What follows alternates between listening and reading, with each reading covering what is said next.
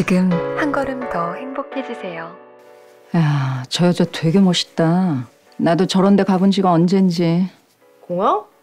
가면 되지. 다음 달에 같이 여행 나갈까? 진짜? 너 갈 수 있어? 음, 가자 한번. 보자. 어, 14일 어때? 알았어. 맞춰볼게. 야, 웬일이니 이게, 응? 너랑 여행을 다 해보네.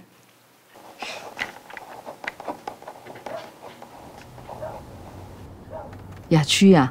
어? 우리나라에 공항이 이렇게 많았어? 어, 그럴걸? 야, 몰랐네. 근데 너 내일도 늦어? 음, 아마도? 왜? 아니, 엄마 내일 여권 사진 찍는데 같이 가려고 그랬지. 여권? 아. 엄마, 잠시만. 네네. 아, PT 자료요? 그거 어제 메일 보내드렸는데.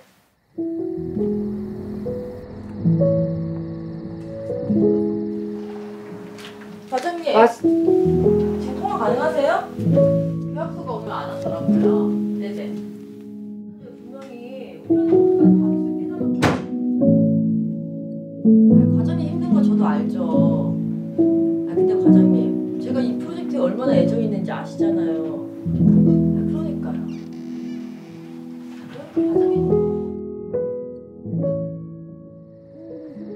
아. 날씨가 쌀쌀해졌다. 그러게. 엄마, 나 이번 프로젝트 잘 돼서 해외 출장 가기로 했어. 정말? 응. 아, 너무 잘 됐다. 역시 고생한 보람이 있네.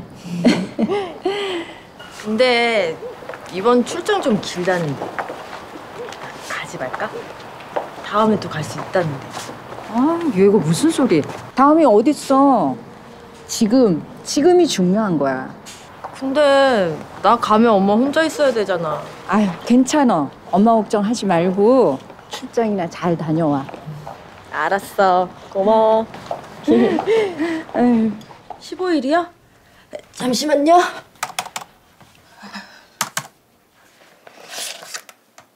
네네. 계속 말씀해 주시겠어요? 까맣게 잊고 있었다. 잠시만요. 엄마와의 약속 같은 건 짜잔. 엄마 이거 뭐야? 커플 어때? 엄마 나 이거 해야 돼. 나 지금 바빠. 아, 쓰지도 않던 모자를 사오고 잘 입지도 않는 옷까지 챙기던 엄마였는데 그런 들뜬 엄마에게 지금이 더 중요하다고 말해주는 엄마에게 난 늘 다음을 약속했다. 내 일만 잘하면 되는 줄 알았으니까.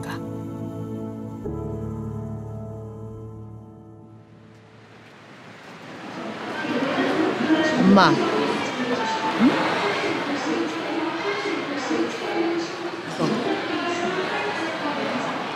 이게 뭐야? 너 출장 가는 거 아니었어? 우리 그냥 같이 여행 가자. 출장은 그냥 다음에 간다고 했어. 아, 주희야. 엄마는 나중에 가도 된다니까.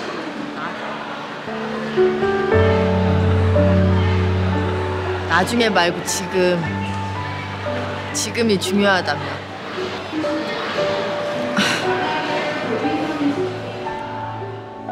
지금 한 걸음 더 행복해지세요.